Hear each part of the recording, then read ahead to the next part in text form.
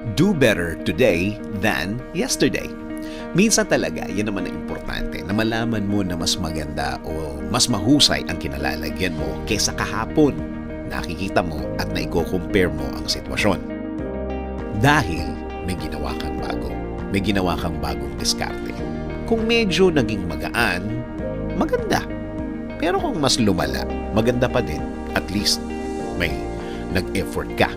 Saka, hindi mo naman talaga alam kung ano ang end result ng ginawa mong bago. Ang importante, hindi ka sumuko. Hindi ka umayaw. Hindi naman overnight magbabago ang lahat, kundi unti-unti.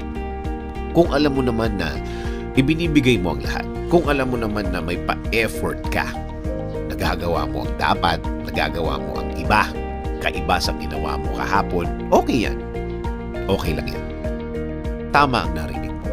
Kahit paunti-unti, kahit na bumagsak pa yan sa 1%, ang importante, nag-move ang lahat. Gumagalaw ka. Ang failure naman ay papasok kung titigil ka na sa paggawa ng mga bagay.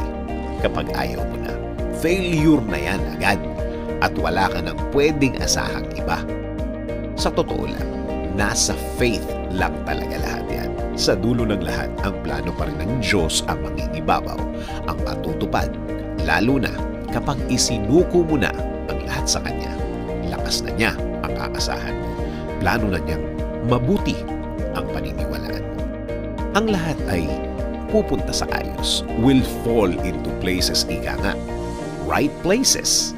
Sana sa paniniwala natin sa Diyos, andun ang paniniwala na ang lahat ay magiging na ang lahat ay maayos, na ang lahat ay bahagi na mapunta ka sa isang lugar na dapat andun ka.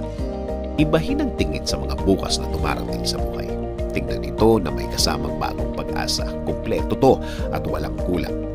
Dahil kung ang Diyos ang gagawa ng lahat, wala nang problema pang madadagdag sa buhay mo. Dumiretso lang at ang atensyon at tingin ay sa dulo.